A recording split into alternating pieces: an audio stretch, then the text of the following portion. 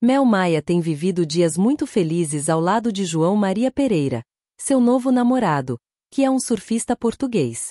Para celebrar alguns momentos felizes ao lado do amor e amigos, a atriz publicou um fotodump nas redes sociais repleto de lembranças boas.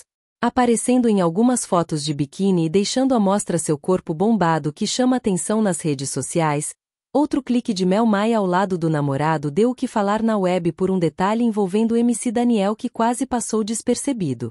Em uma das fotos, a atriz aparece deitada na cama junto do namorado, que dorme, e posa destacando sua mão direita, onde fica uma tatuagem feita em homenagem a Daniel quando eles estavam juntos, com a letra D, inicial de seu nome.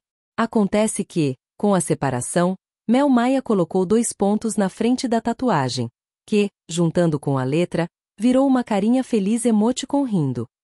Na foto em questão,